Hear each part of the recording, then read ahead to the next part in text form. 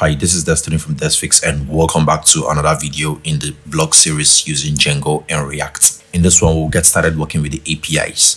That is what we'll be doing. Hopefully you will enjoy the video and learn something new. So let's get started. The very first thing I want you to do is open up the source code that I have provided for you. And I want you to grab all the imports over here and pretty much bring it into your own code.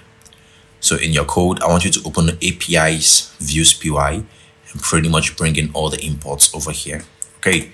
So I don't want to have to type all this out one after the other. That is why I actually just imported it like this. Okay.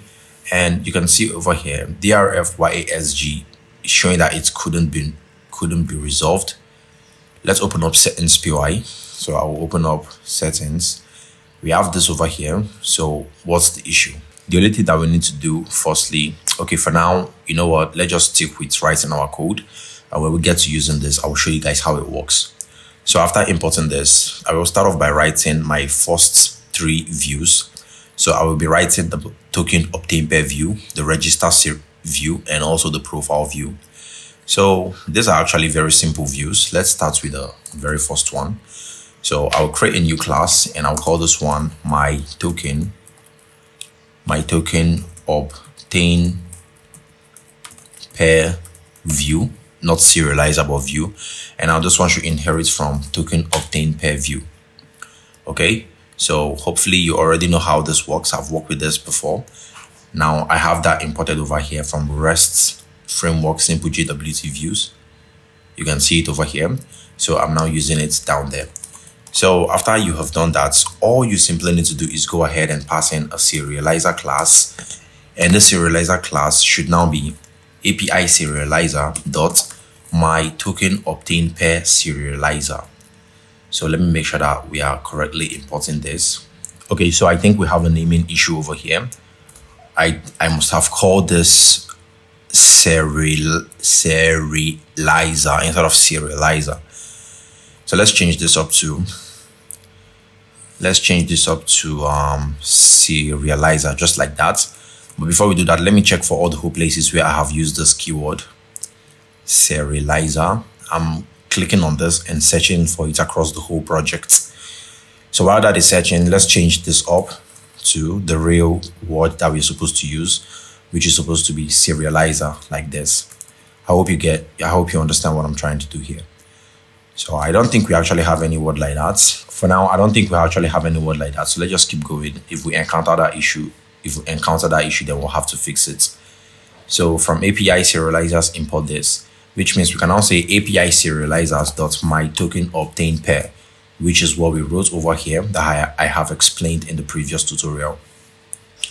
So after you've done that, that is pretty much it for that one. Now let's create another one, which will be the register view and this one simply needs to inherit from generics dots create API view because we'll be sending a post request here to create a new item. And for this one, what we want to do is quite easy. We already have everything that we will be needing. So we just need to pass in the query sets that we want to interact with. So query set should be equal to API models dot user dot objects dot all. Okay and also permission classes permission classes should be allow any okay? And also i want to pass in the serializer class. So serializer class should be api serializers dot register serializer. So you might be asking why are these views very short? Why don't they have much functionality in them?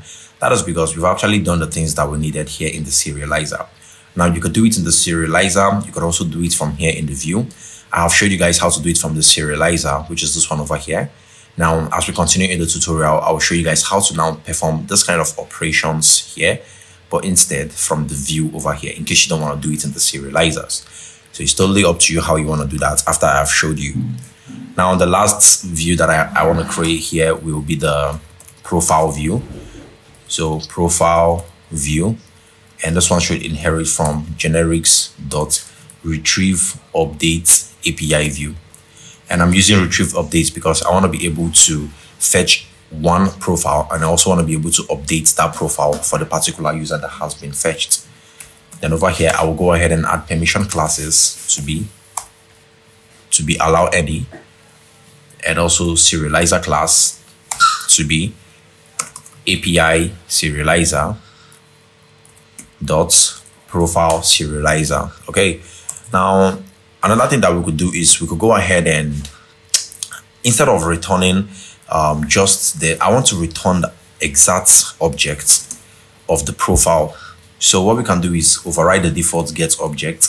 And this is a way to override the default get object and pass in your own informations. Okay. So what I'm doing now is I'm to say user underscore ID should be equal to self dot keyword argument. And I'm going to grab user underscore ID. And what I simply want to do is fetch the user based on that user ID by saying API models dot user dot objects dot get where ID is equal to user ID. So after you've fetched the user, now let's fetch the profile based on that user. So I'll say profile should be API models the profile the objects dot get where user is equal to the user that was fetched from the top. All right. Now, after you've done that, you finally want to return profile. So whenever this view is called, we return whatever profile we have searched.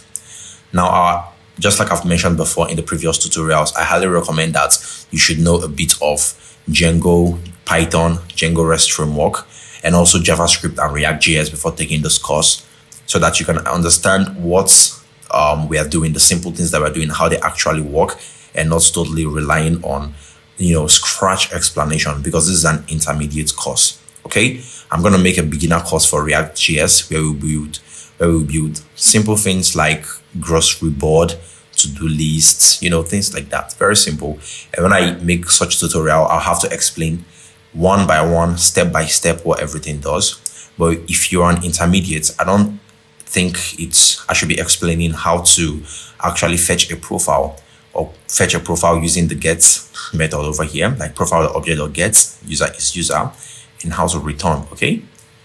So hopefully you understand what this is doing. What we pretty much did over here was override the default get object. By default, if you don't pass this in and you want to fetch a profile in the URL, you will have to pass in pk as an integer. Okay. So let's say the, the URL is called um, URL slash profile slash, then you have to pass in one. Okay, this one is gonna be integer, integer pk. Now, what we're gonna use instead of integer pk will be what user ID. So user underscore ID, because that's what we are passing in here. You can see that is what we're passing in here. Okay, don't worry. As we continue um, working on this project in the tutorial, you'll better understand how all this works. So now that we've done that, that's everything that I want to do. Let's go ahead and register this API and actually show how it works. So in the API app, I'll create a new file called urls.py. And the urls.py, I simply want to import this. You can import this over here. That's if you don't want to type it all out. You can as well type it out, okay? But I just want to import, since I already have it, you can just import from Django URLs, import path from REST Framework Simple JWT views import token refresh. From API imports views as API views. Simple. Now create a new URL patterns. And in here, what you can do is create a new path. And this path, I want it to be user slash token. So if you don't want to call this token, you can still call it user slash login. And why I call the token is because whenever we're passing an email and also a password to this endpoint over here, it will return a token for us. Now for the views, it will be API views dot my token obtain pair view. Simple, we are done. Now remember to always add as view method because it's a class based view. That is the first one. The second one will be the register. So user slash register and this should be the register view. That is it. The third one should be the token refresh. So token refresh. And over here, you just want to pass in the token refresh view. Simple as that. So guys, what this will do is actually quite simple. What it would remove the API views for the token refresh, okay? Because we're already importing it. So what the token refresh will do is, because tokens actually expire after some time, um, access tokens expire way more faster than refresh token does. access token might expire every 24 hours, but refresh token might actually expire, let's say, every two weeks or every month or every three months, depending on how you set them. So whenever our access token expires, you have to use a new refresh token or an existing or activated refresh token to get another access token to continue browsing the application. So that is why we need a way to fetch new refresh token. I hope this makes sense. And after you've done that, let's also configure the profile view. And this would pretty much be profile slash then user underscore ID. And then I'm going to go ahead, save this. Now let's configure this in the main URLs py, which is this one over here. Go ahead, import include. There you go. And you could go ahead and pass in a new path API slash v1 slash. Then we could go ahead and call the include. Then what do we want to include? We want to include api dot urls py file. Simple as that. So with this now we are done. We're on the right path. Some things that we need to configure here will be the media url the media routes and also the the django documentation from drf yasg which is using swagger ui don't worry i'll show you guys how all this works so now that we have done this, let's make sure that our server is, is still running. You could go ahead, spin up your server. So let's cd into backend, then run. You can actually, actually still activate your virtual environment by running venv backslash script backslash activate, then run py manage py, run server. And give this some time. As you can see, it says no module name this does that module actually exist in the requirement txt? I don't think so. So let's go ahead and install this module. All right. So to do that, you just need to run pip install install drf-yasg, yasg. That is why the import wasn't working initially. So we install this. Give it some sec. As you can see now, we've successfully installed it. So if you run your server again, you shouldn't have that issue. So give your server some time. And there you go now, it's working. So in our views PY, when we uncomment this, we shouldn't have that issue again. All right, see that?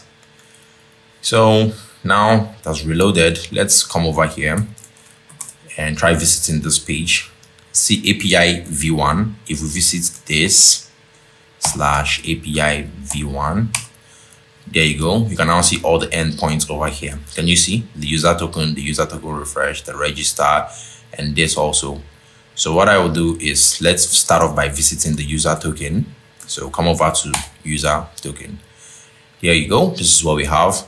So if you want to test this out, put in an email address that exists and a password and hit post. And then you will see it returns this token for us. Then if you come over to JWT.io, take this refresh token, just copy the refresh token. There you go. And paste it over here. Replace it with this one.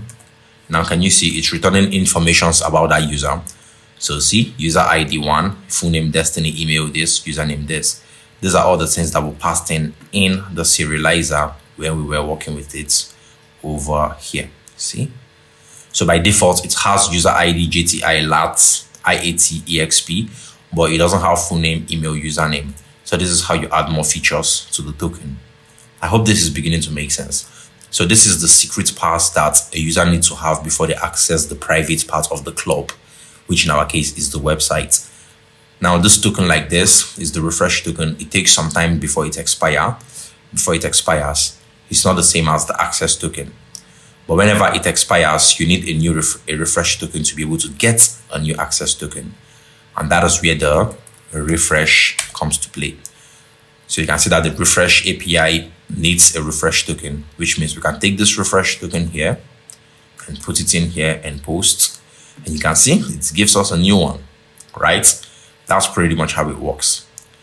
Now the next one here is the register, which pretty much means that we could put in a full name and email password let me say testing 321 and also another one testing 321 but if you put in a wrong password here and hit post see password fields didn't match that was the the validation that we wrote over here. See, that's what we're getting here now. All right, I hope that makes sense. So now if you put the right password and post, you can now see, oh, it says function object is not subscriptable. That is actually nice. It's actually nice that we got this error. So let's see what's wrong. So this error over here can actually mean that we have an issue with validating the passwords yeah can you see this it's point us to this place so now if you take a close look at this part you can see this is called validated data and we're trying to access password from validated data but instead we are calling validate password which is now making reference to this import here which is very wrong. So we need to change this to validated data password. Okay? So now we refresh the page. Let's run this again. And this is going to be testing 321 testing 321 and over here to testing 321 and we post this time around can you see it's now created a new user with the full name to be Michael or is that is that pronounced as Michelle Hobard and this is the email also now if you log into the admin and um, let me log in using my informations. If you come over to the user, you can now see that that new user has been created. This is them over here. So that is pretty much it. The last view over here should be the profile and we want to retrieve the first item. Can you see? Immediately it retrieves this. This is the image, the full name, the bio, the about, the date, the user ID. So guys, that is pretty much it. Everything is working as expected. In the next one, we'll get started working with the with the profile or rather we'll start working with the core APIs, the category list API view, the post category list, the post list, the post detail, the like, the post comments, the bookmark post API. So you might be asking, when will we get started working with React.js? Now, I want to follow the normal development process of working on the API firstly, then we'll work on the front end and also the integration. So for the next tutorials, we'll be working with building out the API, testing them and make sure that everything is working as expected. And if everything does, we will then get started working with the front end. That is pretty much it. Hopefully you enjoyed the video and learned something new. If you're looking to build websites faster and easier with professional components, then I'll highly recommend that you check out nestblog.app. It's a website or an application that provides you with modern components for Tailwind CSS, Bulma, Material UI, Bootstrap to help streamline your development experience and efficiency. That is it. Check out nestblog.app and also consider checking out some of the courses in the description below as one of them might help you become a better Python, Django, and React.js developer. I hope to see you in the next video. Until then, mad love. Peace out.